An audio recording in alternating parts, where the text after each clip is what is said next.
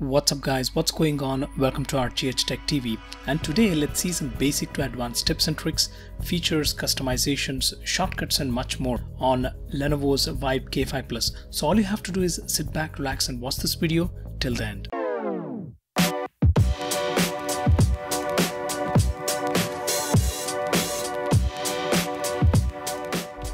Under display settings you can enable or disable VR split screen mode to access this feature, you can long press the power button and select the VR split screen mode so that you can see the normal 2D content in a VR headset.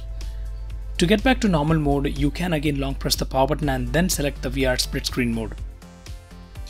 Under battery settings, you can enable battery saver from the top right corner.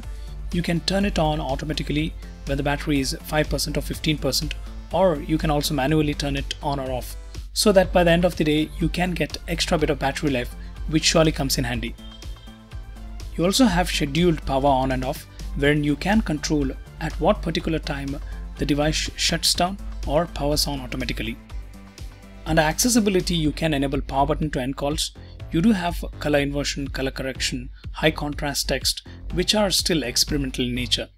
Under accessibility itself, you can enable magnification gestures, that is, you can triple tap on the screen to magnify it and you can use the single finger to swipe between the pages and use two fingers to navigate in the same page.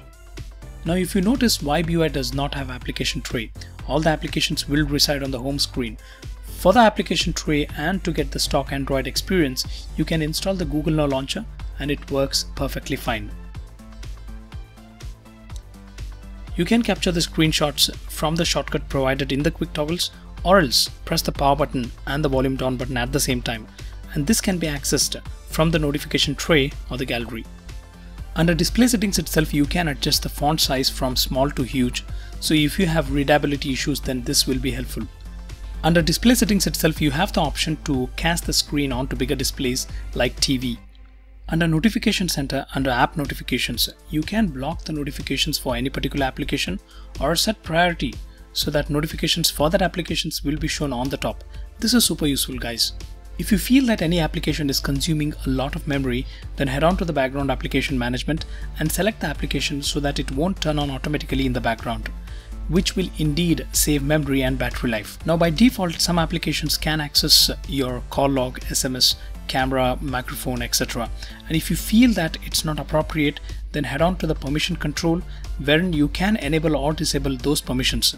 Now this gives you power to monitor and control what applications can access what content in your phone and which in my opinion is a very good thing. You can press and hold on the multitasking buttons to access the recently used applications and you can single tap on the multitasking button to change the wallpapers, widgets, preferences, etc. Under preferences under home screen settings, you can enable or disable transition effects for home screen, wallpaper scrolling and also auto arrange icons from left top corner. You can single swipe to get the notification tray, swipe again to get the quick toggles or else you can use two fingers directly to go to quick toggles. You can press and hold on the home button to access the Google Now, which gives you cards like temperature, sports, stock, etc. USB OTG is supported, so you can connect your pen drive and seamlessly access your content, be it movies, pictures, or any other media files. So that's it guys. If you feel this video was informative, give it a thumbs up, share this video with your friends and family, subscribe to my channel for more videos like this, and most importantly, thanks for watching.